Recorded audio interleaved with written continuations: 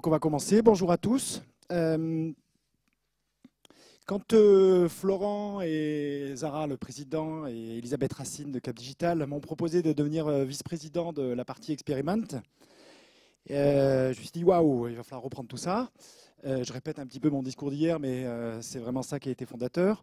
Et puis ensuite, ils m'ont expliqué le motto de cette année, c'est le Tech Back Control. Et je me suis dit, puisque la partie Experiment s'adresse aux citoyens, euh, normalement, c'était prévu le samedi. C'est pour ça qu'on n'a pas forcément tous les interlocuteurs qu'on aurait souhaité et qui étaient prévus, mais ils n'ont pas pu se libérer. Euh.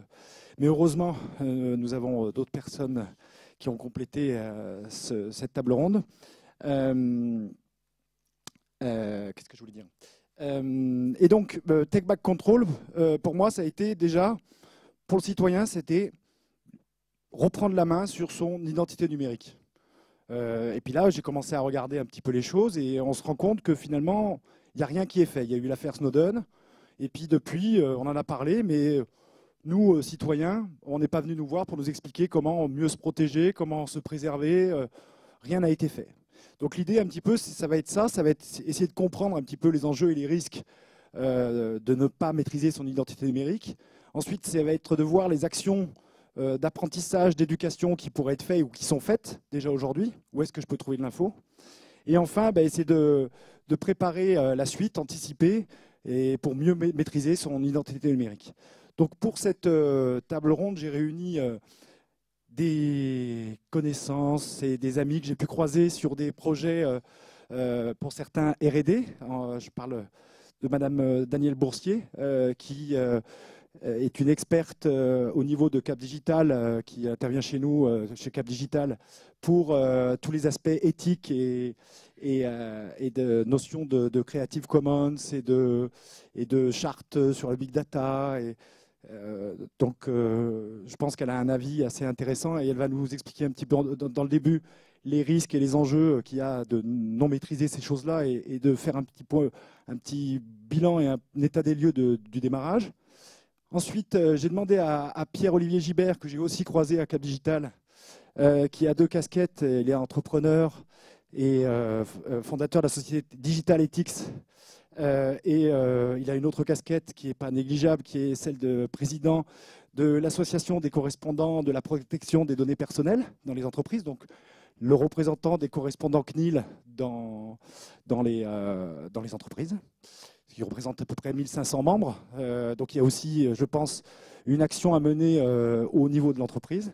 Et enfin, Benoît Cibot, qui, au pied levé, est venu compléter cette table ronde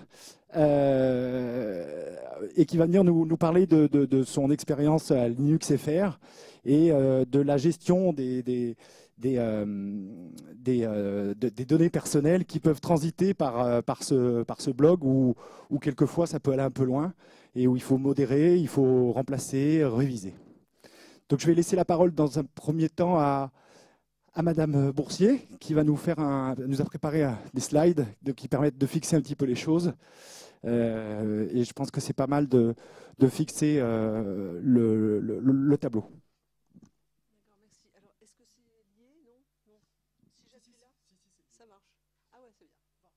Bonjour euh, tout le monde. Euh, donc, euh, bon, j'ai fait un PowerPoint, c'est un peu, je suis un peu disciplinée, mais je, vois que maintenant c'est plus vraiment à la mode. Alors, mais, bon, je vais le faire quand même parce que de toute façon, c'est mieux de fixer deux trois choses. Et je vais aller assez rapidement sur certaines slides qui sont pas obligatoirement intéressants.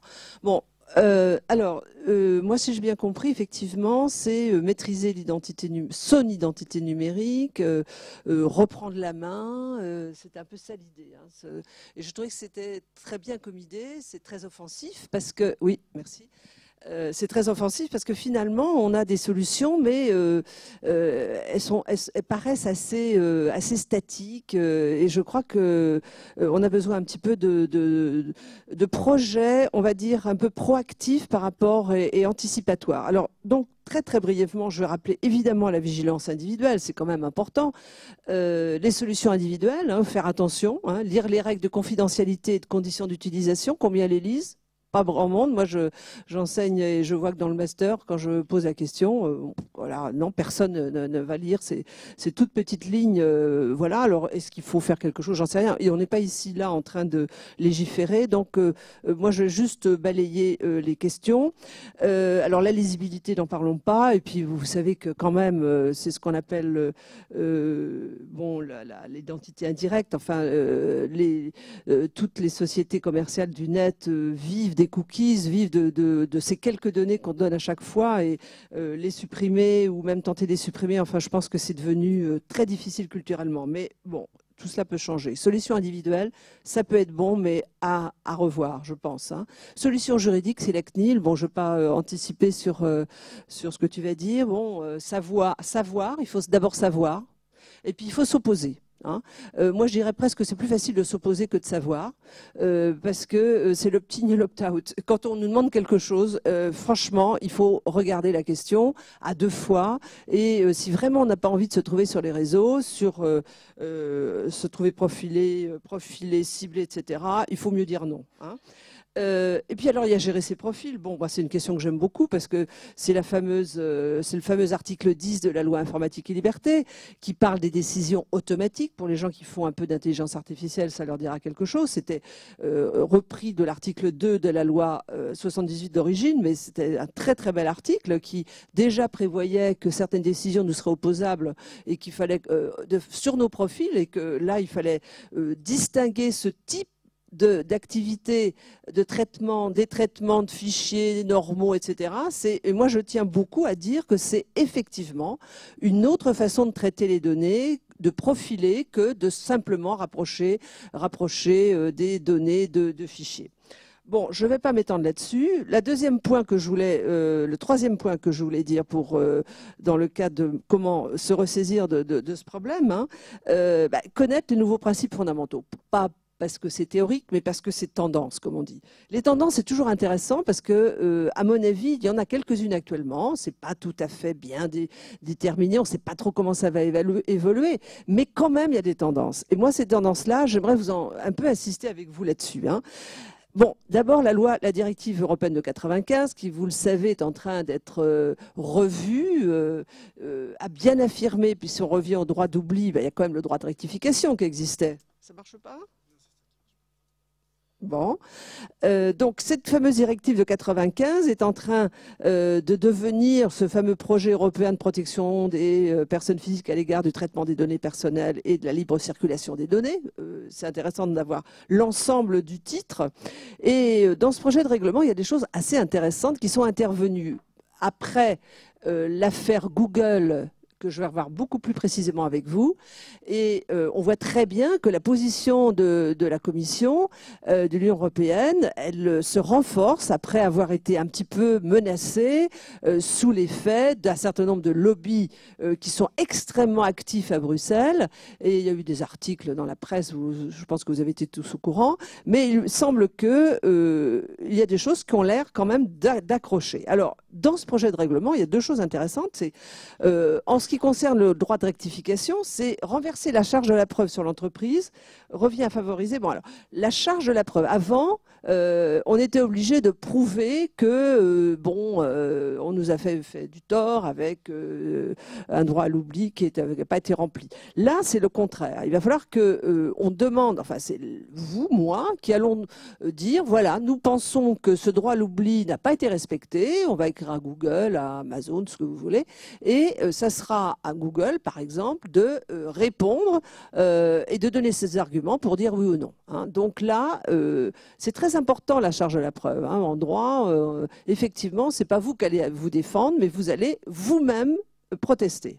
Ça, c'est intéressant. Et puis la deuxième chose, c'est que si par hasard on s'aperçoit que vous avez effectivement été victime d'un non-droit à l'oubli, vous n'avez pas été déréférencé, eh bien, vous avez le droit de demander à Google, par exemple, que euh, d'informer les tiers qui euh, que vous connaissez et qui auraient eu connaissance de, ça. Donc le droit d'information aussi, c'est pas à vous de l'assurer, c'est à l'entreprise. Donc moi je trouve que ce sont deux euh, éléments quand même très intéressants qui ont l'air d'être accrochés dans le projet de règlement qui devrait plus ou moins être voté à Bruxelles en mars prochain. Bon, donc vous voyez, renversement euh, de la preuve, et ça c'est important. Euh, il y a un dernier point sur le, qui est actuellement assez sensible, et je vois partout pas mal de discussions sur cette question, c'est le, droit à la monétisation ou à la patrimonialisation de ces données. Alors là, ça commence à venir. Et alors, euh, donc, qu'est-ce que ça voudrait dire la monétisation? On en parle depuis, très très longtemps, mais bon, c'était pas tout à fait euh, comment dirais-je, euh, bien compris. Et euh, bon, bah maintenant, avec tout ce qui se passe sur Internet, l'e-commerce, etc., ça devient effectivement un sujet extrêmement important. Et alors, je vais juste vous donner une idée, enfin, un, exemple de, société qui s'est créée, qui s'appelle DataCoup. Et qu'est-ce qu'elle a été le business model de DataCoup Je ne sais pas si vous connaissez, je trouve ça quand même assez intéressant. C'est de, donner, enfin de faire comme échange avec un internaute, de lui dire voilà, vous me donnez accès à vos données Facebook ou tout ce que vous voulez, ce que vous voulez sur Internet, que vous, acceptez bien sûr de mettre en ligne. Moi, je vous donne 8 dollars et après, je me charge d'aller les revendre à différentes euh, sociétés euh, sur Internet. Alors, c'est un modèle, on peut ne pas être d'accord, euh, voilà. C'est un modèle qui est enfin, en train d'être lancé depuis très peu de temps. Euh, voilà un petit peu les, nouvelles idées qui viennent. Euh, voilà. Alors maintenant, je voudrais revenir sur cet arrêt Google Spain, euh, qui est quand même très récent, à peine six mois, hein, de 13 mai 2014, qui a quand même fait couler beaucoup d'encre, mais qui à la limite n'est pas, pas tout à fait facile à comprendre. donc je vais essayer vraiment d'être le plus clair possible pour vous, surtout vous donner les enjeux de cette... Alors de quoi s'agissait-il Monsieur Gonzalez a réagi euh, parce qu'il a vu que quand on interrogeait son nom euh, avec le moteur de recherche Google, automatiquement on venait sur la barre. Euh, un événement qui s'était passé dans sa vie en 98, qui n'est pas obligatoirement diffamant, mais c'est l'annonce d'une saisie qui avait été faite sur ses biens, où il avait, je crois, pas payé en matière sociale un certain nombre d'allocations, enfin rien de vraiment grave. Hein. Mais enfin, cette information, à chaque fois vous vous tapiez son nom, euh, vous connaissez cette, barre euh, Google, bon, venait obligatoirement. Alors, il n'était pas content du tout parce que bon pour lui c'était terminé, ça fait quand même 25 ans et donc il a intenté un, recours. après évidemment être passé en Espagne par la commission informatique et liberté correspondante et ce qui est intéressant c'est qu'il demandait à ce que l'éditeur supprime ou protège ses informations. En tout cas il attaquait directement l'éditeur de, mais l'éditeur Google, mais pas l'éditeur évidemment de l'information, parce que là il y a eu des confusions. Il ne demandait pas euh, que le journal qui relatait euh, le fait qu'il avait été saisi ou quoi que ce soit, il ne demandait pas à ce que ça soit effacé. Et là, je pense que Google a laissé traîner un peu cette ambiguïté. Il demandait seulement que le moteur de recherche ne livre pas sur la barre de réponse son nom accolé à cette procédure. Vous voyez la différence. Il ne demandait pas d'effacer le journal, il demandait seulement que euh, Google n'en rajoute pas, ne traite pas ces données. Et c'est ça qui est très intéressant dans cette affaire, c'est euh, la notion de traitement de données qui a été, euh, qui a été en fait lancée par la Cour. Voilà ce qu'a dit la Cour du Luxembourg. Elle a dit qu'en fait, euh, il y avait un vrai traitement par Google, ce qui ne paraît pas évident, parce que c'est juste, euh, derrière, personne ne connaît les algorithmes d'ailleurs, vous le savez, mais euh, c'est seulement prendre le nom et, rattacher son nom à un certain nombre d'informations, on va dire de groupes de mots qui sont accolés le plus souvent, souvent un algorithme qu'on ne connaît pas trop, mais à son nom. Alors la Cour a dit que le fait de rechercher de manière automatisée, constante, systématique des informations publiées sur Internet, eh bien, euh, l'exploitant d'un moteur de recherche, par là même, procède à des collectes de données au sens de la directive. Donc, vous voyez, le fait même de servir d'un moteur de recherche hein, constitue un traitement.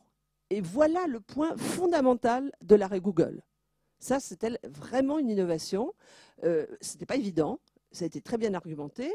Et voilà l'argument, dans la mesure où euh, ce moteur de recherche extrait, enregistre, organise les dites données avant de les conserver, voire de les communiquer de les mettre à disposition. Donc, voilà la qualification d'un traitement. Et à la limite, tout le monde est à peu près d'accord. Hein. ça ressemble à n'importe quel traitement qui serait fait dans un service informatique. Alors, quel est l'enjeu de cet arrêt qui a été pris? Eh Jusque-là, Google ne pouvait être tenu pour responsable du traitement des données personnelles. Non, non, moi, c'est un petit moteur de recherche euh, ou un gros moteur de recherche. En tout cas, euh, moi, je ne fais pas de traitement de données. donc, le nouveau droit qui a été créé par cet arrêt, c'est ce qu'on appelle le déréférencement, pardon, j'ai fait une erreur de frappe, des référencements personnels. Vous avez donc droit, c'est ce qu'on appelle le droit à l'oubli, mais c'est beaucoup plus précis. Vous demandez à être déréférencé. D'accord? Et puis, euh, il y a un autre enjeu qui est quand même intéressant, c'est que, bah, vous savez toujours, euh, Google, la principale, le siège est, américain. Il n'y a de l'entreprise, il n'y a que dans les différents pays du monde ce qu'on appelle les établissements. Hein. Et théoriquement, ils n'ont pas la personnalité juridique, donc on ne peut pas les attaquer. Et là, la Cour a dit, eh bien, euh, ça n'a aucune importance que ce soit seulement des établissements. Vous avez un bureau, au moins un bureau euh, de publicité, etc., dans chaque pays. Euh, c'est exactement la même chose que si vous aviez une entreprise. Donc ça, c'est quand même intéressant, parce que Google avait quand même une certaine tendance à se mettre au-dessus des lois. Vous voyez? Bon, là... alors, depuis, qu'est-ce qui s'est passé dans la suite de cette affaire? Eh bien, il y a eu, comme vous avez entendu parler, au moins, il y a eu dans la première semaine 150 000 demandes de retrait. Mais déjà, ça a commencé à reculer dès le 18 juillet.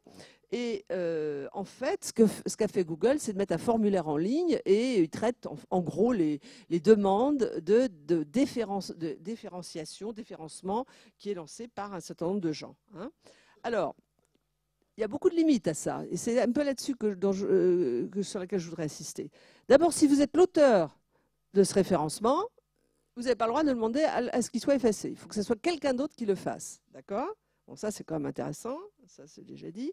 Et puis, il y, a deux autres limites qui sont euh, intéressantes à signaler. Euh, d'abord, ce droit est amoindri s'il s'agit de données historiques de données statistiques, de données scientifiques et de données relatives à la santé publique. C'est ce qu'on appelle euh, le fameux droit, la freedom of expression, auquel les Américains vraiment tiennent beaucoup, hein, le premier amendement. Et eux, ils sont très contre. Je ne peux, pas, vous dire comment ils sont extrêmement fâchés avec cette décision de l'Europe. Pourquoi? Parce que pour eux, c'est une atteinte à la liberté d'expression. La liberté d'expression, ça fait partie exactement de, comme nous, euh, le droit à la vie privée. Mais le droit à la vie privée n'est pas constitutionnel aux États-Unis. En revanche, la liberté d'expression l'est. Donc, il y a une, confrontation culturelle qui est quand même assez forte. Et euh, donc, euh, là-dessus, on a été obligé de, reconnaître, reculer. Donc, donner ce qu'on appelle le droit à l'archivage. Bon, là, le droit à l'archivage n'est pas atteint, d'accord? Il est seulement amoindri. Et alors, il y a une deuxième difficulté, c'est la personne publique. Si vous êtes une personne publique, vous n'avez pratiquement aucun droit à demander à ce qu'on efface vos données. Plus vous êtes inconnu, plus vous avez de droits. Plus vous êtes connu, moins vous avez de droits. Relativement, relativement euh, facile à comprendre. Il y a un quatrième point que j'aimerais voir très, très brièvement avec vous aujourd'hui. Là, on a parlé essentiellement des, des solutions personnelles, des solutions juridiques, des tendances de la jurisprudence. Et en fait, euh, il y a actuellement une, autre façon euh, de euh, prendre en charge ces données, c'est de, chercher des solutions techniques. Alors je vais vous dire, elles sont techniques, mais elles ne sont pas très compliquées. Moi, je ne suis pas une geek. Hein. Ben là, carrément plus rien. Ah si, c'est bon. solutions techniques à explorer. Alors, participer au changement de design des réseaux. Alors là, il y a beaucoup de choses en ce moment. Nous-mêmes, on a participé à une recherche euh, avec l'école des mines, etc., dans le cadre de l'ANR, sur ce qu'on appelle les architectures distribuées. Comme vous le savez, Internet est de plus en plus centralisé.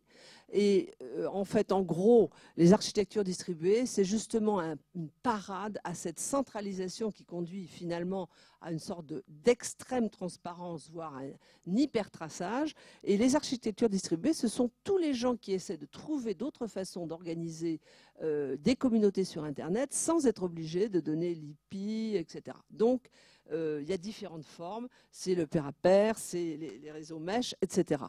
La deuxième façon, rééquilibrer la relation entre utilisateurs et fournisseurs de services. Je voudrais juste vous donner l'exemple de Drizzle, qui vient, c'est un, pair à pair cloud. Comme vous savez, les clouds, c'est aussi extrêmement sensible.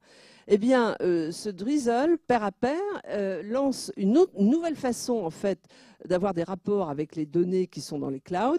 Les données, il propose à ce que euh, l'utilisateur encrypte dès le départ ces données et en plus fragmente ces données. Mais c'est à lui de le faire. Donc ça, c'est tout à fait nouveau, hein, ça a moins d'un an, et je trouve ça intéressant. Le dernier point, et j'arrêterai là-dessus, euh, donner plus de responsabilité à l'utilisateur.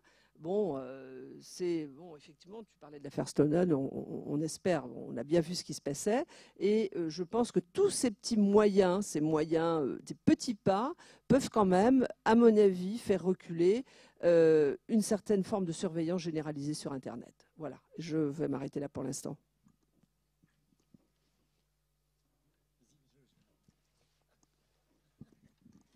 Merci euh, Daniel pour ce, bilan et, cette euh, mise en exergue de, des, avancées et des, petites évolutions qui peuvent euh, changer les choses.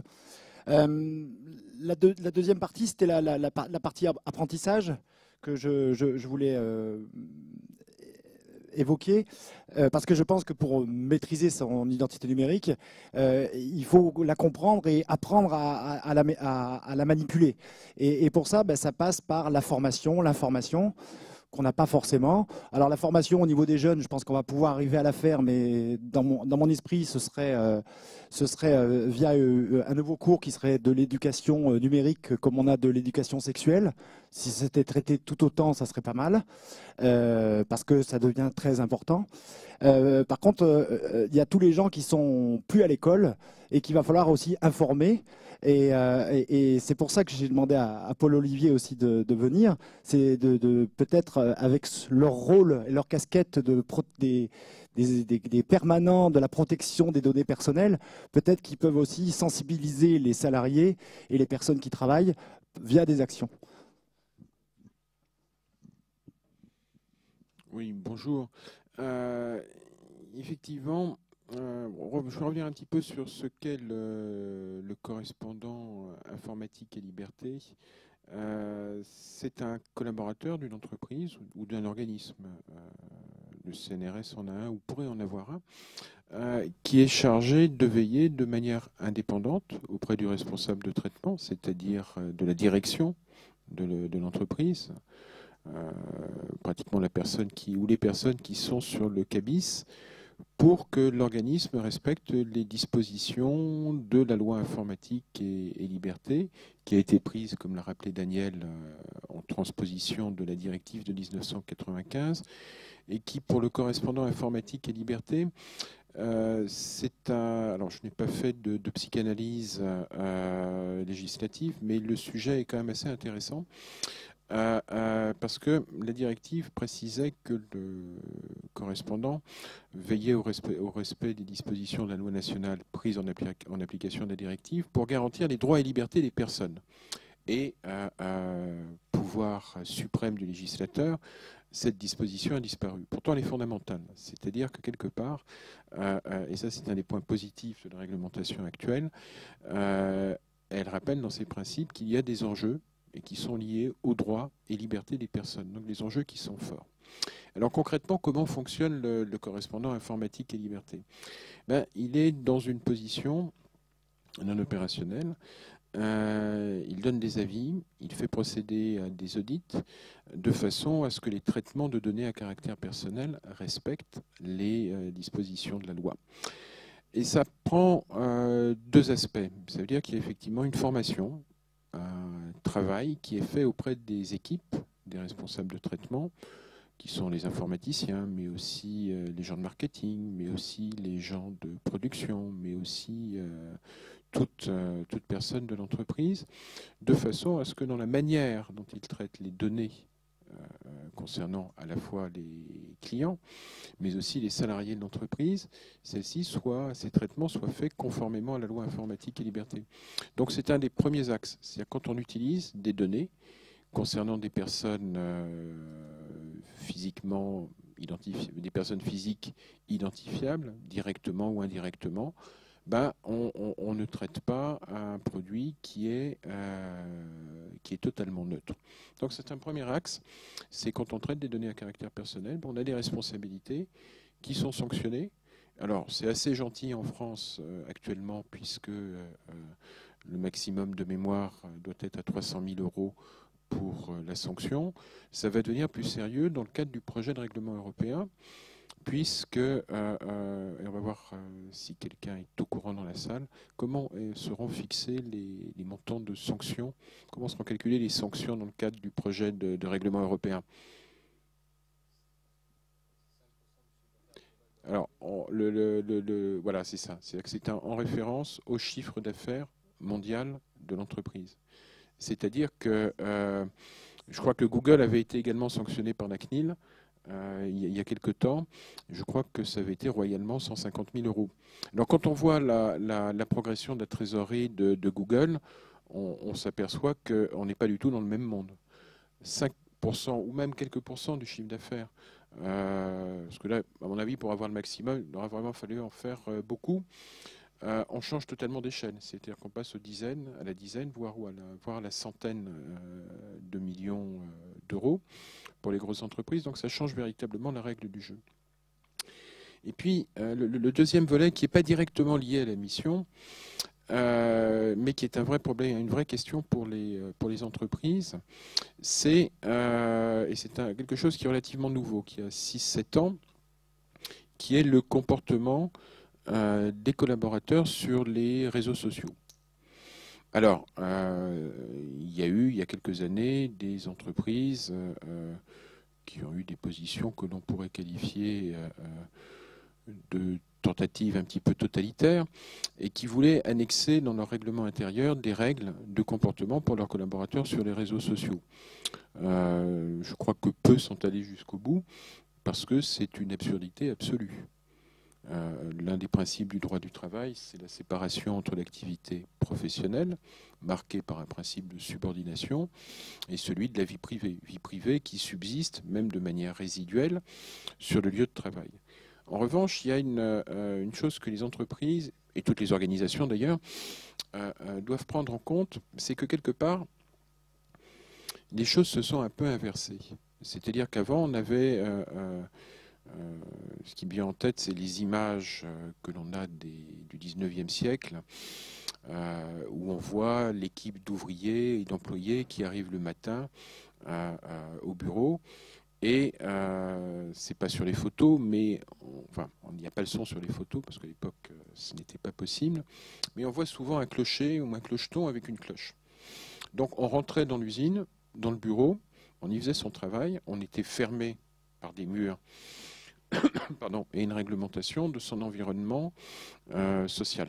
Donc là, la frontière entre la vie privée et la vie professionnelle était plutôt facile à déterminer. Maintenant, ce sont des choses qui ont euh, totalement, euh, totalement explosé, qui se sont un petit peu renversées. C'est-à-dire que à la fois, on a le développement d'outils modernes qui font que la, la, frontière physique entre le lieu de travail et le lieu de résidence, voire le lieu de vacances, ont complètement euh, disparu. Mais euh, euh, on a aussi un phénomène qui est nouveau et qui est à prendre en compte, c'est le phénomène d'exposition de, soi sur les réseaux sociaux. et en particulier sur les réseaux sociaux professionnels. Qui parmi, vous n'a pas de, de, compte LinkedIn ou Viadeo? J'ai dit n'a pas. Deux, trois, quatre, bah, vous êtes dans une situation relativement marginale euh, euh, et c'est un choix qui vous honore euh, totalement. Mais ce qui est intéressant, c'est que la majorité d'entre nous ont des comptes LinkedIn. Alors évidemment, on y met, ou, ou, ou pour ne pas être prosélyte, on y met, on y met plus ou moins suivant, suivant ce que l'on fait. Mais c'est devenu, par l'intermédiaire de ces comptes, un facteur de visibilité extraordinaire sur l'entreprise. On sait à peu près que telle ou telle personne y fait à peu près telle ou telle chose. Et puis, il y a d'autres indicateurs. C'est-à-dire que si les gens d'une entreprise euh, se mettent à modifier euh, en grand nombre leur euh, profil LinkedIn, c'est qu'il y a quelque chose qui ne va pas dans l'entreprise soit il y a des rumeurs de plan social et il est temps de, préparer une sortie, soit le climat social est absolument détestable et tout le monde a envie de partir. Beaucoup de gens ont envie de partir.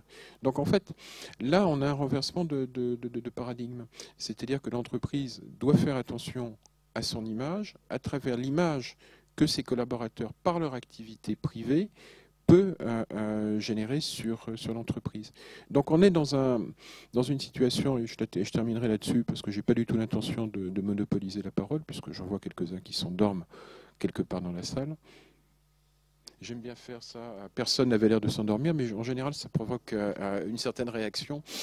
Euh, et j'ai oublié de vous le dire, euh, je suis très mauvais quand la salle ne réagit pas. Donc, si vous voulez ne pas vous ennuyer, réagissez. Donc, en fait, ce qui est intéressant, c'est qu'on est dans une période de transition. Il y a un modèle qui est mort, c'est celui de l'usine avec des grands murs.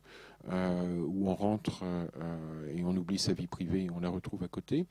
Et on a quelque chose qui est en train d'émerger où euh, euh, les relations sont beaucoup plus imbriquées, beaucoup plus euh, complexes entre l'individu, son employeur, et ce qui rejoint d'ailleurs aussi certaines tendances en matière de, management. C'est-à-dire, on dit, on, ne vous demande plus de venir travailler de 9h à 12h, puis de 13h15 à, 16h17 pour saisir des bordereaux, mais c'est un peu comme la publicité d'une chaîne de restauration rapide d'origine américaine et avec un nom qui pourrait être vaguement écossais. je ne sais pas si vous l'avez reconnu, mais je ne veux pas aller plus loin. C'est venez comme vous voulez, venez avec toutes vos qualités, venez avec toutes vos capacités. Donc on a, des choses qui sont totalement en train de, de changer dans ce domaine. Et euh, il est de la responsabilité des employeurs, donc au-delà des, simples employeurs privés que sont les entreprises, d'intégrer ceci. C'est-à-dire que euh, c'est idiot et un peu fascisant que de vouloir, euh, excusez-moi d'être un peu d'être un peu brutal, mais c'est vendredi et le public est sympathique, donc je je m'exprime de manière un petit peu brutale, en voulant réglementer euh, la prise de parole sur les réseaux sociaux. Les entreprises intelligentes ne feront pas ça. Elles feront attention à la manière dont elles traitent leurs collaborateurs, de façon à ce que ceux-ci diffusent par les réseaux sociaux une image positive de l'entreprise. Voilà, Marc, j'ai dépassé comme d'habitude le temps que tu voulais. je, voulais que tu, parles de de l'activité que la CNIL est en train de, développer, un nouveau thème, justement pour euh, former euh, les salariés et les entreprises à, l'éducation numérique. C'est une ambition qui est, euh, qui est beaucoup plus, plus, vaste que ça. la CNIL a monté un collectif d'associations dont la FCDP fait partie, auquel la FCDP a été volontaire, qui a été créé l'année dernière pour que l'éducation au numérique soit considéré comme une grande cause nationale. les grandes causes nationales, c'est un dispositif public qui euh, euh, permet de bénéficier gratuitement euh, d'un certain nombre de temps d'antenne sur le, service public et qui a un effet un petit peu label, c'est-à-dire que ça permet de quelque part de mobiliser et de mieux communiquer sur ce thème. Donc pour la CNIL, euh, qui est garante de la loi informatique et liberté et puis d'un certain nombre de, droits et de libertés, effectivement, l'éducation est quelque chose qui est fondamental. C'est-à-dire qu'on euh, euh, peut conduire un véhicule automobile après avoir passé son permis. On n'a pas l'équivalent sur le numérique. Et ça produit autant d'avantages et autant de dangers que l'automobile. Donc là, il y a un travail qui a été fait. Donc il y a des actions plus modeste euh, que celle que l'on avait envisagée, puisque ça n'a pas été retenu comme euh, grande, cause, euh, grande cause nationale pour, pour 2014, mais on remettra normalement le couvert pour 2015 et puis si ça ne marche pas pour 2016. Donc c'est un enjeu qui est extrêmement important et avec des actions à la fois auprès des entreprises, mais également auprès des étudiants, des, élèves, du jeune public qui euh, a tendance parfois à s'auto... Euh, euh, je fais rire le photographe? Ah bah dans ce cas-là, il faut les photographier. Hein. Pardon? Eh oui, mais est-ce que je vous ai signé quelque chose pour mon droit à l'image? Bon, voilà. vous pouvez. Oui, justement, vous pouvez, vous pouvez y aller. Donc ça, c'est une action publique. Donc je crois qu'il y a déjà des choses qui se passent au niveau du brevet du, à peu près en même temps que le, brevet des collèges. Euh, mais c'est effectivement c'est un enjeu. C'est-à-dire que euh, et c'est parfois une formation qui est un peu euh, un peu technique parce qu'il y a quand même des paramètres pas forcément très facilement accessibles qui permettent de gérer le niveau d'exposition que l'on veut avoir. Et je crois que l'un des grands enjeux à travers cette action collective, c'est que la population soit en mesure de paramétrer l'ouverture de sa vie privée, enfin la définition, euh, soit en mesure de paramétrer euh, la ligne de partage entre ce qui est pour elle privé et ce qui est pour elle public.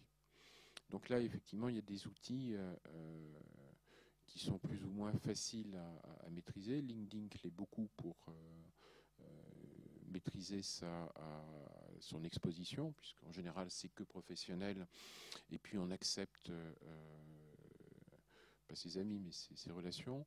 Euh, sur Facebook, c'est beaucoup plus compliqué, parce que les amis de mes amis euh, donnent une cartographie qui est beaucoup plus difficile à maîtriser qu'elle ne l'est sur LinkedIn. Twitter, bah, Twitter c'est un truc absolument merveilleux parce que si on veut se détruire une réputation en moins de 12 heures, il n'y a pas mieux. Quoi par, sa viralité. Euh, bien je fais référence à la, personne qui avait fait une plaisanterie très déplacée sur l'Afrique du Sud et le sida avant de prendre l'avion pour aller euh, en vacances en Afrique du Sud, et qui, euh, lorsqu'elle a débarqué, ça avait tellement tourné que son employeur n'avait pas pu prendre d'autres décisions que de la licencier. Euh, bah, je sais pas, je pense qu'elle est. Euh, euh, enfin, je sais pas comment, parce qu'elle venait des États-Unis, donc je sais pas comment fonctionnent les billets. Mais si tu veux pas payer trop cher, en général, t'as pas intérêt à, modifier, ta date de retour. Mais je pense que ça lui a un peu gâché ses vacances, comme. Mais c'est vrai qu'on peut être, on peut avoir une réputation détruite avec une efficacité absolument remarquable sur Twitter si on ne sait pas euh, euh, maîtriser son usage. Est-ce qu'il y a d'autres points dont tu veux que je, parle?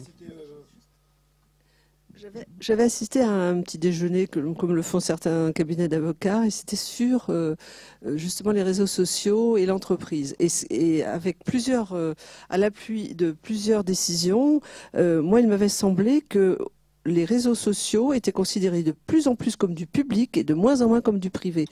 Et ça veut dire que, à la limite, le risque, euh, le risque, il est à la charge de celui qui se met euh, en danger justement sur un réseau social.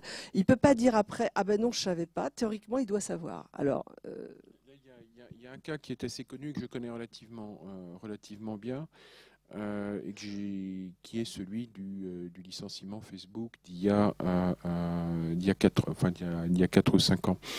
C'est pas tellement un problème de prise de parole. Enfin, de toute façon, le, principe de base d'un contrat de travail, c'est l'exécution loyale de la part des deux parties.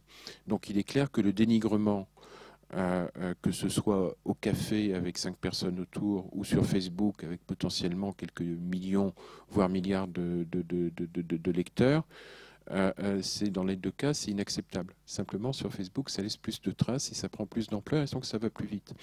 Mais sur le cas d'espèce du, du, licenciement Facebook qui avait fait beaucoup de bruit il y a trois ans, euh, ça se serait passé ailleurs. La décision aurait été la même et elle est tout à fait fondée. C'est un groupe de salariés qui s'étaient amusés ou qui s'étaient alliés pour pourrir la vie de leur chef de service déjà, en termes d'exécution loyale du contrat de travail, on, a fait mieux. Enfin, je parle sous votre contrôle parce que je ne suis pas juriste de, formation, mais pour de la, bah, euh, pour, ceux d'entre vous qui sont salariés, un petit conseil si vous vous organisez pour pourrir la vie de votre patron, vous n'êtes plus tout à fait dans l'exécution loyale du contrat de travail. Euh, là où la, situation devient euh, absolument lamentable, c'est que euh, cette chef de service était une femme enceinte, donc une personne en situation de, vulnérabilité. Donc non seulement c'est un comportement qui, euh, d'ailleurs je crois que les licenciements étaient tout à fait, euh, justifiés,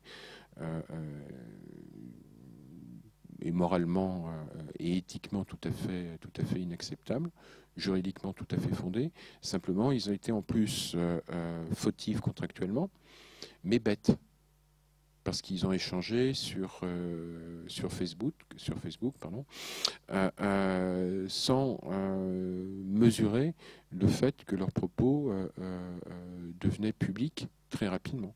Et ça, c'est aussi un autre point qui est important, toujours en élément de formation, c'est que quand on parle en tête à tête, comme on le faisait dans l'ascenseur, on pense qu'on est globalement dans une conversation privée et on n'a pas totalement tort. Quand on est là, on n'est plus dans une conversation privée. Ben, c'est exactement la même chose quand on est face à son écran. Euh, on peut croire que l'on est dans une activité totalement privée et en fait on est dans une activité publique. Et ça, c'est un des enjeux en termes de, d'éducation qui est, très important. C'est-à-dire qu'on peut se retrouver très facilement dans une logique de, de prise de parole publique. Et même si on a, sauf si on a paramétré son compte Twitter pour qu'il ne soit que, qu'il ne soit que privé, euh, euh, tout tweet peut, euh, peut prendre une... c'est un peu prétentieux, mais une importance planétaire. C'est-à-dire qu'à partir du moment où on tweet quelque chose, on n'en maîtrise plus, dans une partie publique, on n'en maîtrise plus du tout la rediffusion. Donc on est vraiment très très rapidement dans une logique de prise de parole publique. Et cela de manière non visible. C'est-à-dire que quand on parle euh, dans la rue, quand on parle devant le public, on a l'impression d'être dans une prise de parole publique. Sur euh, son smartphone le soir euh, ou avant de prendre l'avion, on a l'impression d'être plus dans un cadre intime. Mais c'est pas vrai. Tu veux que je parle encore d'autre chose Merci Paul-Olivier. non mais c'était surtout que moi je voulais revenir sur la, la charte informatique qu'on signait il y a 20 ans et je me disais qu'est-ce qu'on a fait depuis euh, pour, pour avancer? Donc il y a une volonté à la CNIL avec l'action de l'éducation euh, numérique et le collectif. Donc ça c'est bien cette sensibilisation. Euh, Benoît qui nous a rejoint hier soir dans cette table ronde. donc on a, discuté un petit peu ensemble et il a un cas un peu plus concret. Hein, c'est les membres et les contributeurs de linuxfr.org euh, comment ça se passe depuis 10 ans? Euh, quelles, ont été les évolutions euh, dans la gestion des, des, des, commentaires, dans la gestion des, des, des, pseudos que les gars avaient, dans la gestion de leur, de, de leur clé cryptée qu'ils avaient à une époque, ils n'ont plus, dans la gestion de leur ancienne boîte mail. Donc on a évoqué plein de petites choses et je pense qu'il a plein de, de, perles à nous, à nous rappeler et, et, en même temps à nous faire prendre conscience du côté bicéphale de, notre identité, puisqu'elle est professionnelle et privée. Et euh, quand est-ce que c'est la mienne? Quand est-ce que c'est celle où je parle au nom de la société ou au nom de, mon côté professionnel? Bonjour. Euh, donc le, site linuxfr.org est un site d'actualité sur le, le, logiciel libre qui existe euh, depuis 16 ans maintenant. On a publié, mis en ligne 91 000 contenus et 1,5 euh, million de commentaires. Euh, c'est euh, entièrement géré par une équipe de bénévoles et tous les contenus sont créés par nos visiteurs. du coup, ça entraîne un certain nombre de choses en termes de gestion de données nominatives, de données personnelles et de données en général d'ailleurs. alors, déjà en termes d'accès, on peut avoir des, gens qui viennent sur le site en accès chiffré ou pas, mais ça c'est un point, je dirais, facile. Par contre, après, on a des gens qui viennent sur le site en accès authentifié ou pas. Ce qui veut dire que, euh, du point de vue du site, on gère des contenus et des commentaires qui sont publics, euh, sur lesquels on va avoir euh, divers problèmes qui peuvent se poser. Par exemple, les gens qui s'expriment vont plus ou moins mettre en jeu leur réputation. si je publie des commentaires dans un très mauvais français pour rechercher la solution à mon TP de deuxième année et que dix ans après, on retrouve ça euh, dans ma boîte, ça fait pas très sérieux. Euh, ou euh, qui vont avoir des commentaires qui sont sexistes, injurieux, carrément illégaux ou simplement déplaisants et inappropriés dans une communauté. Donc on va éventuellement, donc moi en particulier, parce que je suis directeur de publication pour le site, donc la mise en demeure qu'on a reçue, elle était pour moi. Hein. donc nous, on est chargé au niveau de l'équipe de traiter ce qui peut être lié à ce type de problématique dans les contenus. Et aussi, euh, bah, dans des commentaires, on peut euh, donner des informations nominatives. Et euh, souvent, parce en parlait tout à l'heure, les gens oublient que bah, des contenus ou des commentaires publiés sur un site, c'est publié, c'est l'expression publique. C'est-à-dire que quand je dis que machin est un escroc, je viens de dire publiquement que machin est un escroc. Et dire de quelqu'un que c'est un escroc, ça a des conséquences, ça peut avoir des conséquences en matière juridique. Donc nous, on doit intervenir là-dessus, essayer de. On a une équipe de modération qui est censée soit d'intervenir a priori sur bah, pour les, contenus modérés a priori. On a une équipe qui intervient avant et qui essaie de euh, éventuellement adoucir le ton, euh, euh, améliorer un certain nombre de choses. Et on a aussi une équipe qui intervient a posteriori pour gérer tous les contenus qui seraient réellement problématiques, soit carrément illégaux, soit inappropriés dans une communauté. on va avoir juste des commentaires désobligeants, des commentaires qui vont agresser des nouveaux qui arriveraient sur le site, etc.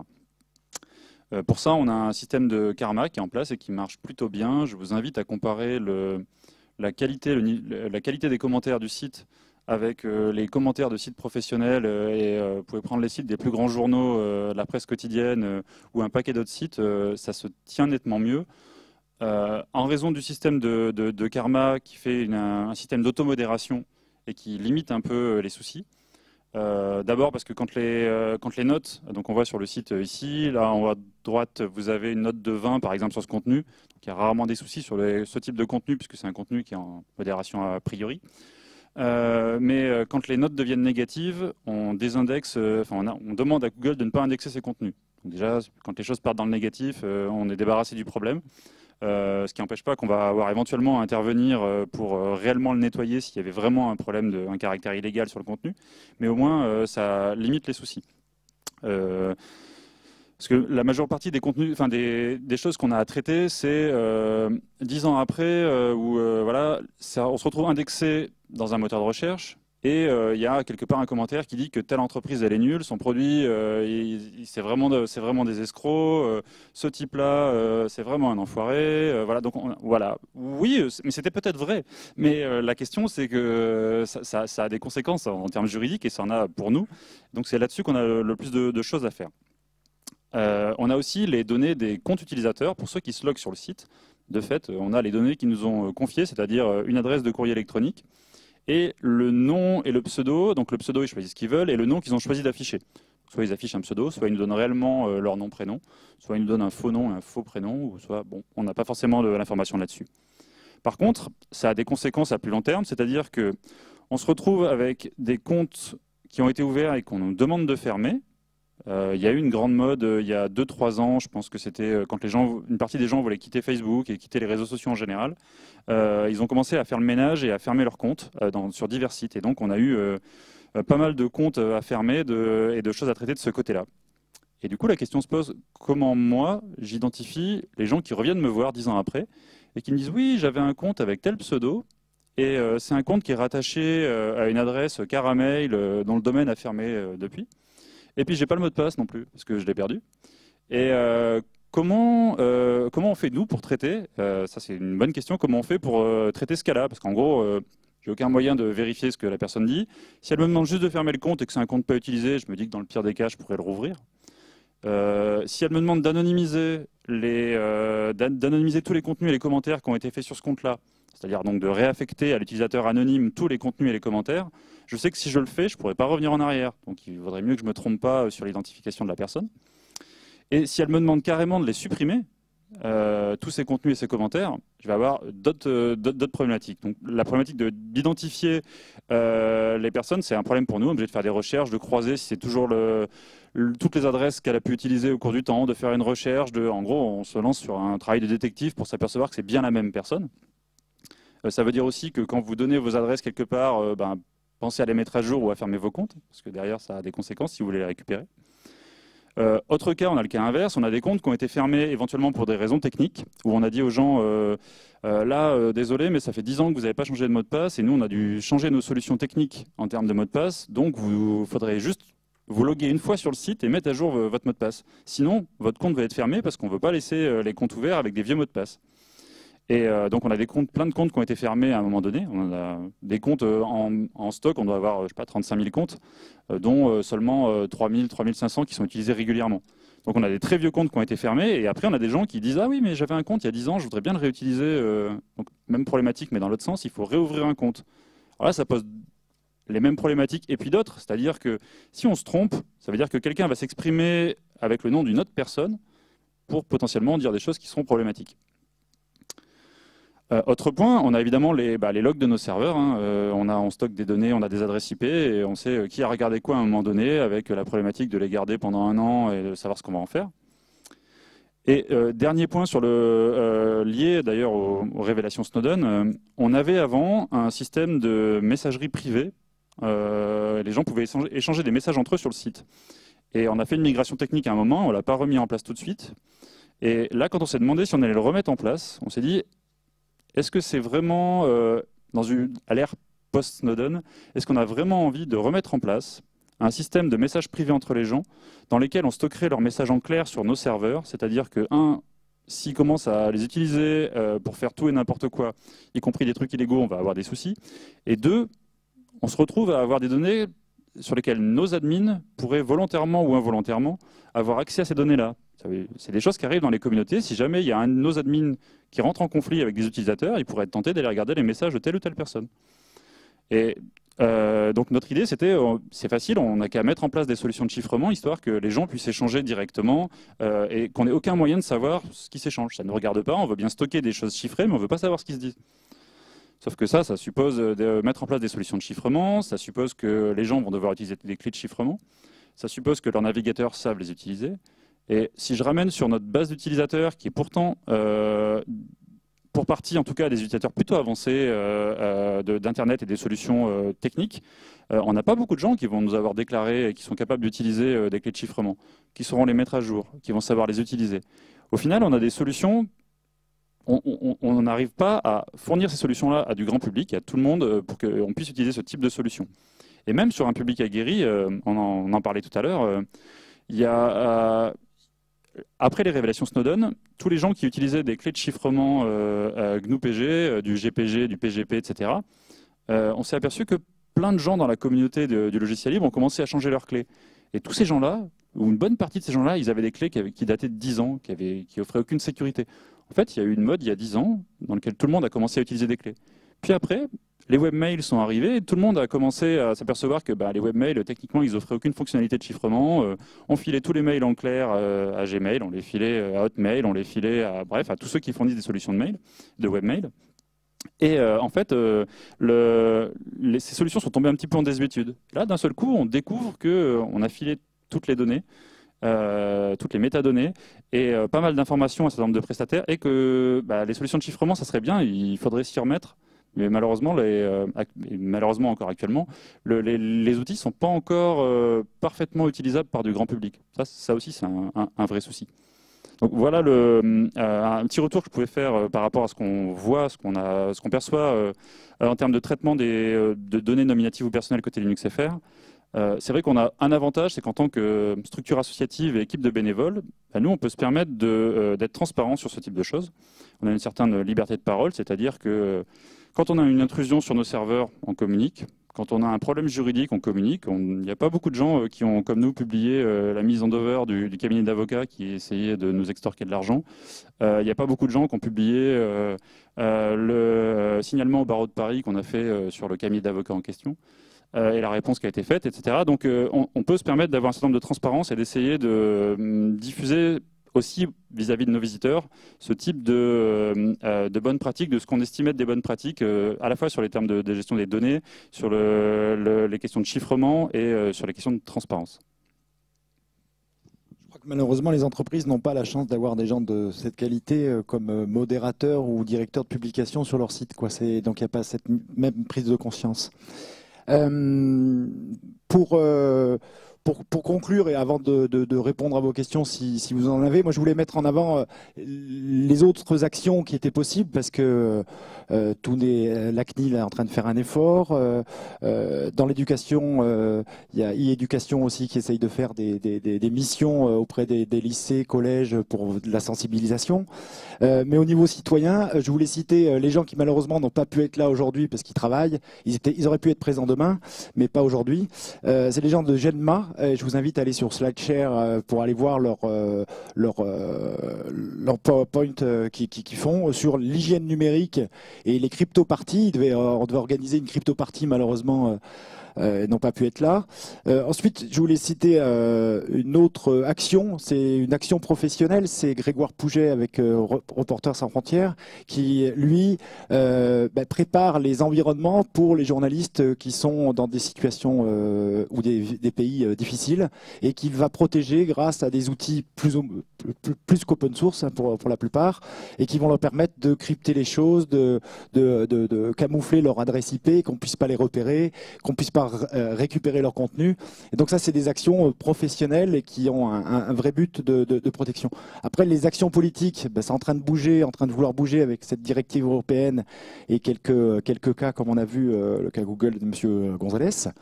Euh, mais c'est pas plus que ça. C'est-à-dire qu'il euh, y a eu l'affaire Snowden et puis depuis un an et demi, il n'y a rien eu euh, de, vraiment.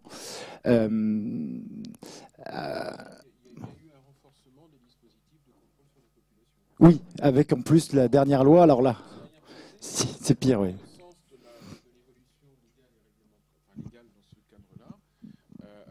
Le sens de, de l'évolution de la réglementation est un renforcement alors en France, une éventuelle régularisation de la, de la situation, mais globalement, euh, euh, les textes, et en particulier celui qui est en cours d'examen à, l'Assemblée nationale, vont dans le sens d'un renforcement des pouvoirs de contrôle des services euh, de police et des services judiciaires.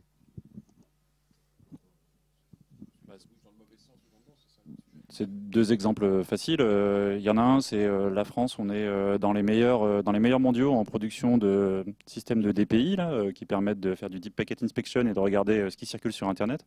Et c'est le type de solution qu'on vend à des pays, à des dictatures. Donc en gros, les solutions qui ont été produites en France, elles ont servi à permettre d'exécuter des opposants, hein, disons-le clairement. Et politiquement, ça n'a pas fait réagir du tout après tout, c'est de la vente d'armes et de comme, une autre, et euh, ça n'a pas fait réagir quand les un certain nombre de révélations sont sorties en France. Et euh, le deuxième point, c'est euh, on parlait de l'ère post-Snowden. Quand Snowden a voulu survoler la France ou se poser en France, ça n'a pas été possible hein, parce que ça nous aurait mis à mal avec nos, alliés. Et d'ailleurs, avec la, nouvelle loi en cours d'examen antiterroriste, on a maintenant la capacité facile de refuser à n'importe quel euh, étranger d'accéder au territoire, sans réelle justification, euh, sous prétexte qu'il euh, va nuire aux intérêts nationaux. Donc ça laisse une large place à l'interprétation et du coup il n'y aura pas le même trou juridique la prochaine fois qu'il y a un Snowden qui viendra. On pourra juste lui dire qu'on respecte la loi, il n'a qu'à pas rentrer sur le territoire. Alors, autre remarque qu'on s'était faite tout à l'heure, c'est que euh, on, pourrait se protéger en cryptant nos informations, en cryptant notre identité, mais il s'avère qu'il y a tellement peu de monde qui utilise cette, ce formalisme qu'on devient finalement la, la première des cibles. C'est-à-dire qu'on n'est pas comme les autres, on est crypté, donc on va être suivi surtout avec cette loi. Quoi. Donc on ne sait plus, euh, il faudrait qu'il y ait le mouvement de masse où tout le monde euh, se, aurait une, clé cryptée, une identité numérique euh, maîtrisée. C'est là où je me posais la question que est-ce que l'entreprise ne devrait pas fournir une identité professionnelle, un ID professionnel et qui serait maîtrisé Parce que moi je vois, j'ai 10 ans d'entrepreneuriat, j'ai eu quelques salariés, certains sont partis, mais ils ont toujours leur compte LinkedIn ou essentiellement LinkedIn ou Viadeo, des comptes professionnels, avec le nom de mon entreprise, leur, euh, leur adresse mail de l'époque. Et si euh, dix ans après, ils font des choses pas terribles, euh, ça peut nuire aussi à mon image. Donc il y a aussi une prise de conscience par les gens à maîtriser son identité, à nettoyer son identité, à savoir ce qu'on ce qu'on raconte. Est-ce que vous avez d'autres points que vous souhaiteriez développer, évoquer?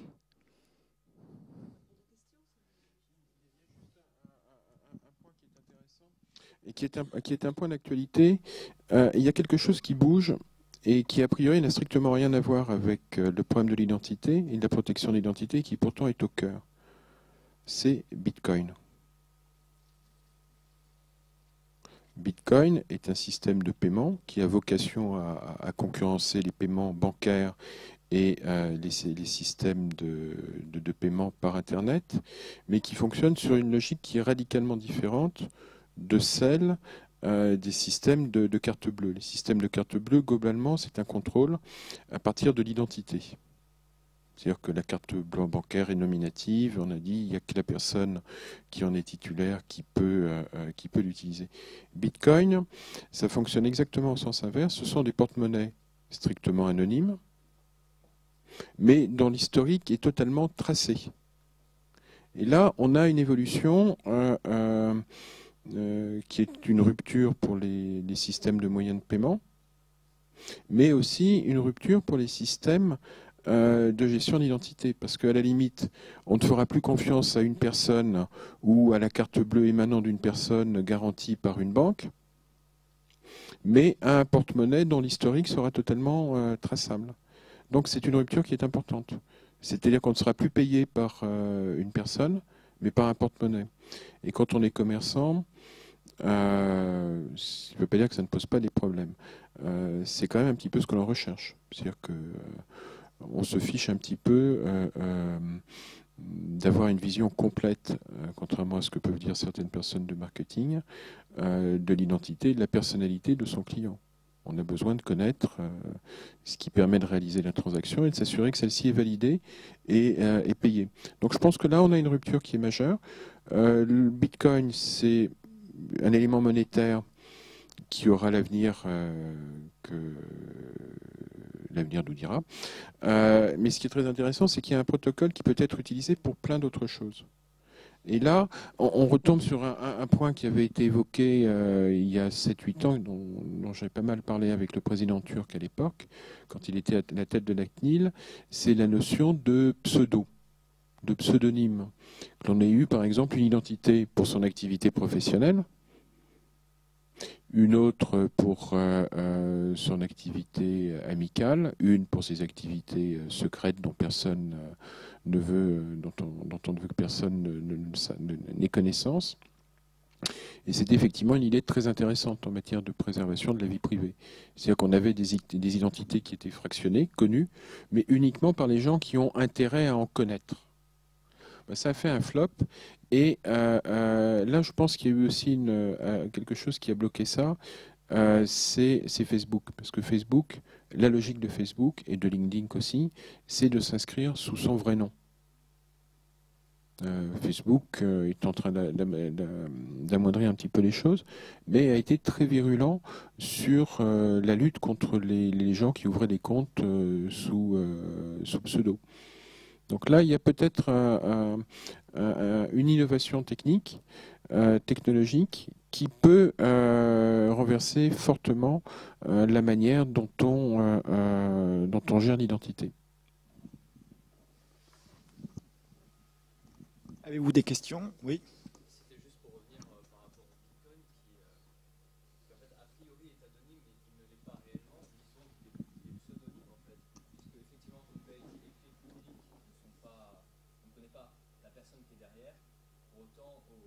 Et je, je répondrai heureusement.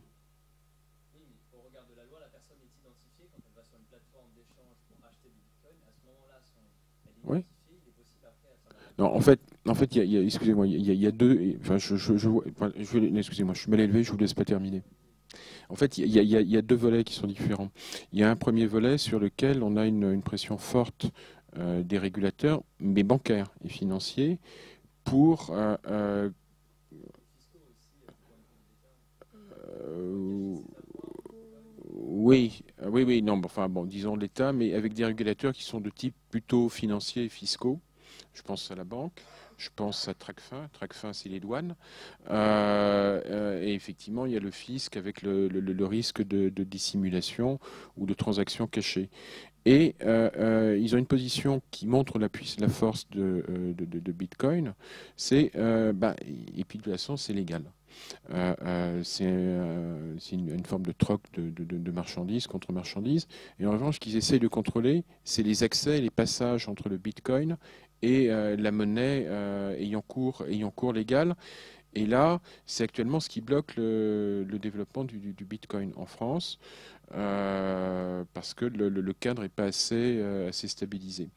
La, deuxième chose, c'est que même dans l'univers, euh, on ne va pas parler du Darknet, mais même dans l'univers où on n'a pas ce problème de conversion, à la limite, un mineur qui produit lui-même ses bitcoins, il les utilise ensuite comme il veut, sans avoir à passer par un, convertisseur, une plateforme de conversion contrôlée. Mais même là, l'anonymat n'est pas absolu.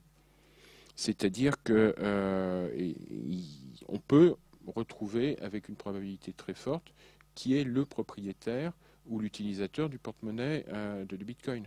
Savoir si c'est utilisé. Euh, là, je suis hyper tracé parce qu'il y a la localisation de mon iPhone, la localisation de mon Mac. Ben, c'est à peu près la même chose. C'est-à-dire qu'on peut remonter pour obtenir des, éléments euh, d'information sur qui est derrière le, porte-monnaie, mais on n'est plus dans la même problématique qui est, où, euh, euh, qui est de faire reposer la sécurité de la transaction sur l'identification des personnes qui la font. C'est le système qui génère lui-même, par la résolution du problème de cryptographie, euh, la, validité de la, transaction. Donc on est vraiment dans une logique qui change totalement.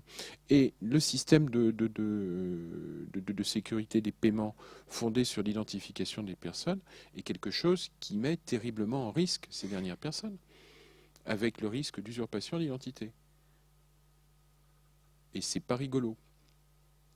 Alors moi, je me suis fait pirater, contrefait ma, carte bleue euh, euh, il, y a, trois semaines.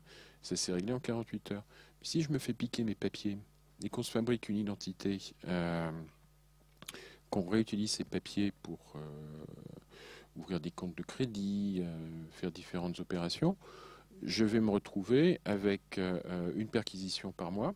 Peut-être pas trop parce que l'information circulera, mais avec des perquisitions à 6 heures du matin.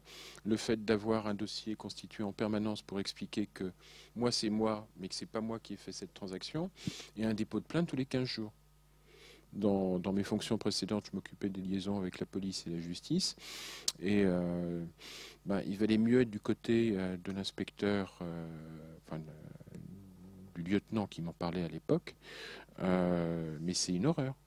Et donc, quelque part, le système de paiement actuel met en risque l'identité. En lui demandant de faire quelque chose qui n'est pas forcément sa vocation première.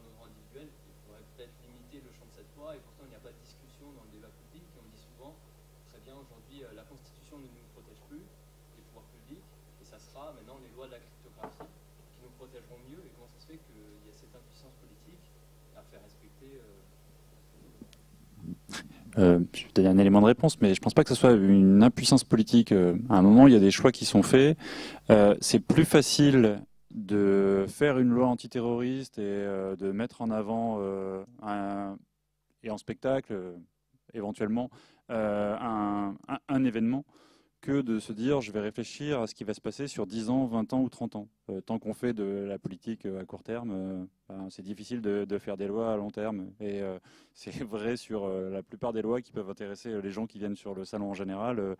La loi sur le droit d'auteur, euh, c'est compliqué parce que tout le monde raisonne à court terme et que c'est plus facile d'avoir des, lobbies qui raisonnent à court terme. Euh, sur les données personnelles, c'est la même chose. Et sur pas mal de choses, euh, plus on fait du spectacle, de la politique spectacle et des choses à court terme, plus c'est difficile de prendre un peu de hauteur et de réfléchir à des choses qui tiennent un peu plus longtemps. C'est une loi de réaction, c'est une loi de communication. Ça, c'est un. Deux, c'est même dans la pratique de la loi d'aujourd'hui. C'est-à-dire qu'on a empilé, empilé, empilé, empilé, empilé, sans jamais se reposer la question. C'est comme si dans une entreprise, on faisait de la restructuration, mais on laissait les procédures qui, existaient il y a 25 ans. Et c'est là où il y a une. Ben, justement, dans les entreprises, on remet à plat et on essaye de refaire nos procédures et nos processus. Oui, ça continue. Excel est toujours là.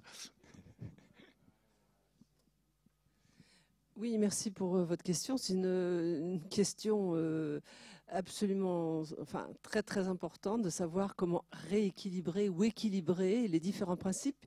On est sans arrêt et de plus en plus dans un déséquilibre en ce moment. Hein, de toute façon, bon, moi je, je, cite juste quelqu'un euh, qui s'appelle Agamben, je ne sais pas si vous connaissez, un philosophe italien qui d'ailleurs avait fait un article dans Le Monde il y a à peu près dix ans, suite après la loi Patriot Act avait dit moi si euh, je suis contrôlé biométriquement à chaque fois que je passe aux États-Unis, il donnait beaucoup de cours dans les facs, il avait fait une déclaration officielle en disant il n'ira plus au, il n'ira plus aux États-Unis. Sauf que maintenant tous les pays sont, sont, exactement dans le même état. En tout cas, il a écrit un livre qui s'appelle L'état d'urgence euh, où il dit que l'état d'urgence ce n'est plus exceptionnel, c'est l'état normal. L'état de droit est devenu un état d'urgence. Et on ne, gère que l'urgence euh, pour des raisons de com ou des raisons plus ou moins justifiées de danger, j'en sais rien. Mais c'est aussi euh, effectivement euh, au pouvoir public, y compris au, pouvoir constitutionnel, de tenir compte de tous les principes constitutionnels et d'essayer à chaque fois de rééquilibrer ce qui pourrait être justement déséquilibré. Là, actuellement, c'est vraiment déséquilibré. Et juste un seul point, euh, tant qu'une une mesure d'exécution, quelle qu'elle soit, sera une mesure de police, police administrative, euh, et qu'il n'y aura pas de juge pour contrôler cette décision, nous serons effectivement dans un état d'urgence. Or, euh, bon, faut le dire, bientôt un état de guerre. Enfin, je trouve que ça change complètement la perspective de, notre environnement. Voilà. Deux, petits points complémentaires. Euh, tu, vous, enfin je me souviens plus, mais euh, euh, je suis tout à fait d'accord avec ma voisine. Euh, euh, Il y a un point qui est important, c'est le contrôle de constitutionnalité en France, mais aussi aux États-Unis. Pour reprendre un exemple, alors ensuite, il y a le problème de saisine euh, du Conseil constitutionnel. Non, non, mais on va regarder. Ah, c'est bien. Ouais, c'est super. Donc c'est pour parler. D'accord, il n'y a pas de questions. Non, n'y a pas de questions, vous avez les réponses. Ah d'accord. Non, pour revenir là-dessus, il y a les contrôles de, il y a le contrôle de constitutionnalité et qui, qui, qui est pas négligeable. Par exemple, lorsqu'il y a eu le, texte, le, projet Hamon sur les fichiers positifs, c'est-à-dire une base de l'ensemble des, des, des- Français avec leur niveau d'endettement, ça a été censuré comme euh, euh, disproportionné par rapport à, l'objectif recherché. Non, non, alors ça c'est le deuxième point. Euh, je vois que monsieur est un expert, donc pour ceux que ça intéresse, on va avoir un débat passionnant. Non, c'était un contrôle de- de constitutionnalité, entre guillemets, classique avec saisine parlementaire. Euh, euh, et d'ailleurs, la question, il n'y a pas de parlementaires dans la salle, mais pourquoi les parlementaires ne saisissent-ils plus, pas plus le Conseil constitutionnel? Bon, ça ne permet pas de passer aux 20 heures, mais bon, on ne peut pas tout avoir. Deuxièmement, il y a un point qui est très important, et sans faire de, politique d'un côté ou de l'autre, euh, la, QPC est une évolution qui est majeure. C'est-à-dire que tout citoyen, dans le cadre d'un litige, aura la possibilité de faire remonter au Conseil constitutionnel la conformité du texte d'un texte. Et ça, c'est une, évolution qui est importante. Et puis le deuxième point, euh, et je pense que Daniel pourra euh, euh, rebondir sur, sur ce point-là, c'est normal, on est dans une période où on, a un monde qui change et qui change de manière assez forte. On va prendre un exemple qui n'a rien à voir, enfin qui est dans un secteur très différent. Euh, essayons de nous replacer. C'est vrai qu'il faut avoir un peu de, mémoire euh, juridique. Alors pour ceux qui en ont la possibilité, replacez-vous au milieu, au, au début du 19e siècle, lorsque l'on a créé la société par action. C'est-à-dire la société dont les associés n'étaient pas indéfiniment responsables des dettes de la société. Oui? Non, mais justement, c'est pour éviter que soit enregistré.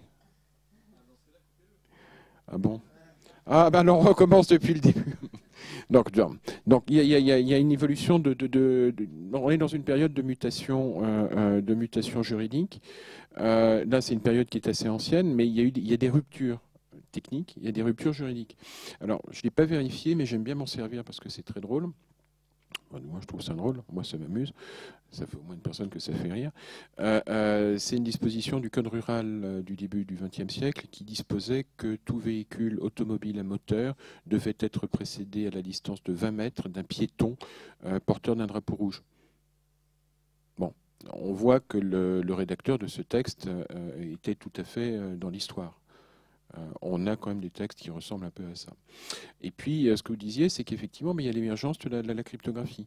Mais l'émergence de la cryptographie, elle est beaucoup plus, euh, à mon sens, puissante que, euh, qu'on veut bien le dire, c'est pas simplement le, le fait de crypter tel ou tel message, c'est que c'est potentiellement utilisé avec les billets de banque.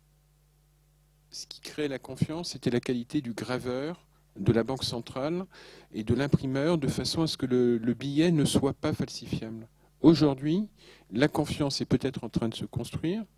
Et ensuite, quand je parlais du billet de banque, ça a été la même chose pour les, titres de, de, société par action et pour les collectionneurs. Il y a de très jolies choses à, récupérer.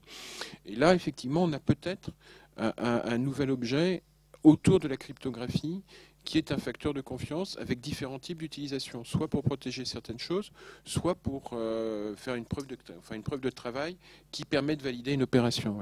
Oui, là je crois que vous avez des choses tout à fait importantes. Je crois que j'ai encore trop parlé. Madame qui ne voulait pas poser de questions. Juste un point, parce que c'est vrai que je crois qu'on on nous, on nous euh, demande de sortir, j'ai l'impression. Hein non, ça va. Ah bon.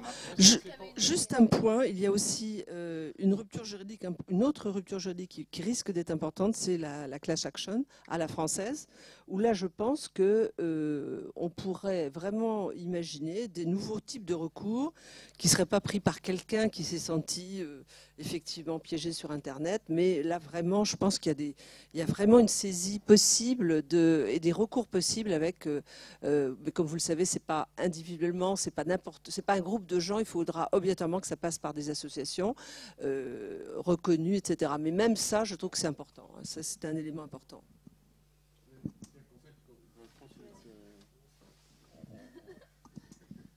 On, est d'accord sur le, qu'on est d'accord sur le, fait qu'on est dans une période de rupture à la fois technologique mais aussi juridique et qu'on a des objets euh, euh, qui apparaissent effectivement très liberticides et d'autres qui, vont exactement en sens inverse? Euh, il y a un autre point qui est extrêmement important, c'est ce que l'on appelle le lanceur d'alerte. Il y a 20 ans, je travaillais à la commission des opérations de bourse qui est devenue entre-temps l'AMF. Euh, et euh, je me souviens d'avoir euh, entendu une jeune femme qui avait à peu près à l'époque mon âge et qui était directeur financier d'une société dans laquelle il y avait eu des malversations. elle était convoquée à 9h.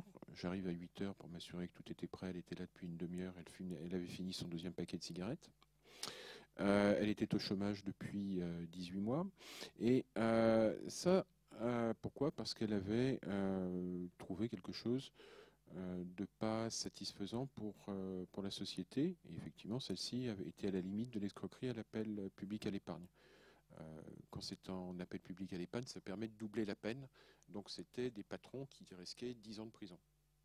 En plus avec une société cotée. Donc, ben, elle avait été virée et il n'y avait aucune garantie. Aujourd'hui, elle ne serait plus licenciable en pratique peut-être, mais elle a une position qui est beaucoup plus forte. Le fait de dénoncer euh, euh, ce type de, malversation auprès du procureur de la République ou d'autres manquements, en fait, le, champ de la protection du lanceur d'alerte ne cesse de s'accroître. Et donc, en fait, ce à, quoi on est en train d'assister, c'est vrai qu'on a des, euh, des, tentatives, des éléments qui peuvent apparaître comme liberticides dans l'évolution de la réglementation, mais d'un autre côté, on a euh, des leviers extrêmement forts qui sont en train de se mettre en, place pour les individus. Et puis, euh, une petite question. Euh, vous souvenez-vous du nom du président de la République sud-africaine il y a 30 ans?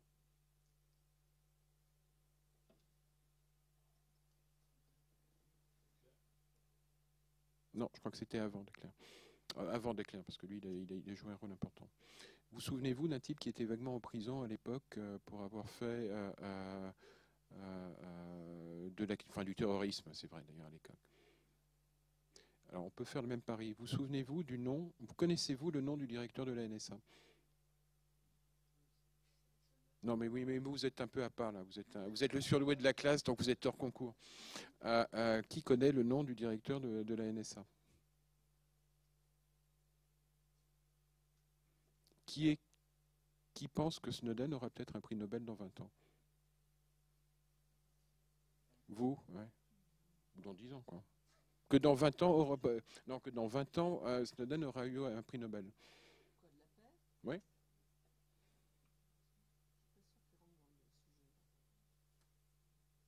Bon, enfin, en tout cas, en termes de notoriété, entre le directeur de la NSA, sauf pour les. Pardon? Bon, ça, c'est un, autre, un autre sujet. Donc, on, prend les paris, on en reparle dans 10 ans. Vous êtes tous réinvités à revenir ici, même heure, euh, même lieu, euh, dans 10 ans. Non, ce que je veux dire, c'est qu'effectivement, on est dans des périodes de, rupture avec des tensions. Euh, que période de rupture avec des tensions, des choses qui vont dans un sens, des, choses, des choses qui vont dans l'autre sens. Et puis, l'AQPC, les class action, bah, si les citoyens s'en servent pas, ça servira à rien. Donc on est quand même un peu acteur de nos propres libertés.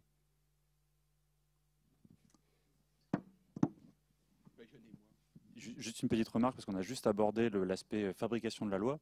Euh, on n'a que des lois qui s'empilent euh, sur divers sujets.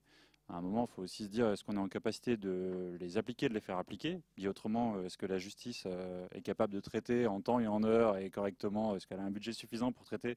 Ou est-ce que les dossiers s'empilent, ils sont traités dix ans après dix ans après, entre-temps, on a largement fait sa marge et on a gagné plus d'argent. payer les amendes, c'est rien. Donc il y a ça aussi.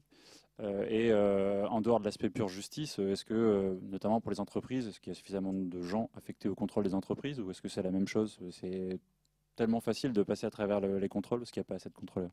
Donc il enfin, faudrait pas résumer ça à uniquement la volonté du, législateur. Il y a aussi la capacité à faire appliquer la, loi qui a été votée. Bonjour. alors, je suis Elisabeth Racine. donc, moi, je travaille avec Digital et, et j'ai c'est ça exactement, mais je vous expliquerai après. On a, on soudé des petites choses euh, hier euh, pour Urbanement de Forum, puisqu'on aime bien aussi euh, amener des makers et, justement amener les utilisateurs aussi sur la prise en main et la reprise en main d'outils. donc comme vous l'avez vu, Marc euh, m'a demandé de remplacer au pied levé, euh, puisqu'il avait un autre engagement. Euh, je voulais juste vous amener tranquillement à, conclure cette table ronde.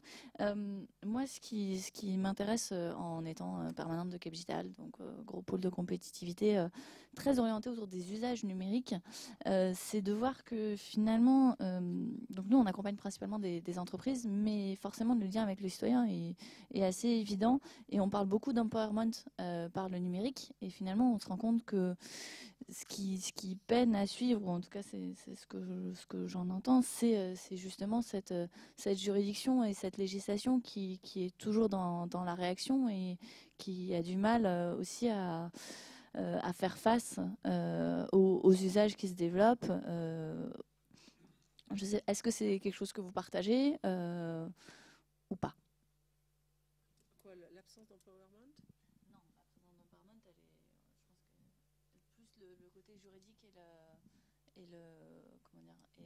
Le, rôle, on va dire, de, l'appareil euh, juridique euh, euh, et, son, comment dire, son, ou, son absence de rôle justement sur, sur les problématiques numériques.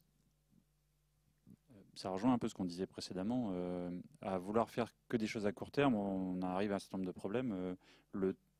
la, durée de, enfin la durée, la vitesse de changement dans le domaine de, l'informatique, du traitement de données, euh, est très largement supérieure à la vitesse d'évolution du, législatif. Et euh, alors au niveau de l'application et de l'exécutif et des conséquences en cas de contournement, on n'est pas du tout sur la même échelle. Euh, entre le, temps qui est une action en titre, ce qu'il y ait une action, en informatique, il s'est passé trois révolutions. Euh, celui qui était le leader est passé le dernier et réciproquement. Euh, voilà, les échelles de temps jouent quand même pas mal. D'où aussi l'intérêt de prendre un peu de hauteur et de faire des, lois qui tiennent euh, plus que jusqu'au prochain événement. Et c'est pas facile, hein, parce que c'est des problématiques qui apparaissent aussi pour le législateur, hein, de, découvrir que des choses se passent, qui arrivent subitement. Oui, ça c'est très intéressant parce que pour ce que, ce que tu viens de dire là, nous on est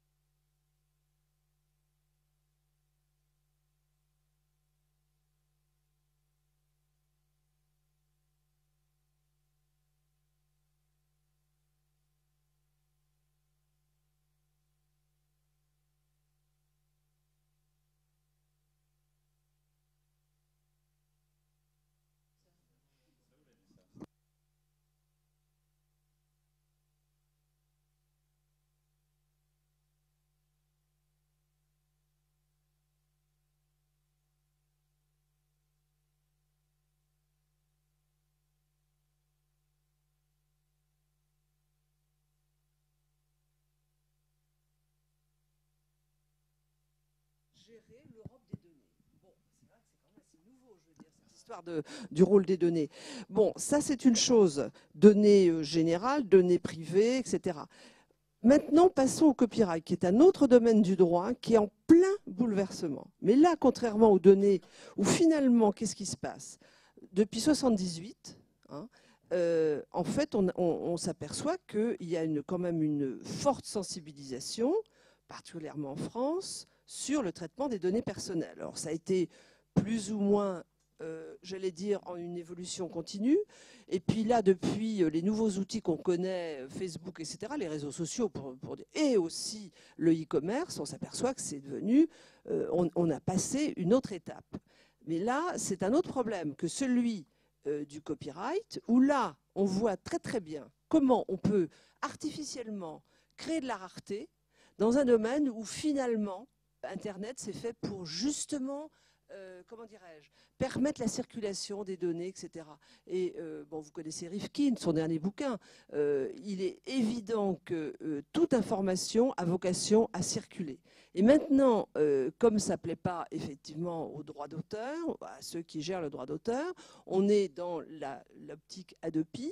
Et je ne sais pas si vous connaissez la loi Adopi, mais Adopi 2, parce que la première a déjà été considérée comme inconstitutionnelle, la deuxième, à mon avis, l'est encore plus. Sauf qu'il n'y a pas eu assez de recours, etc.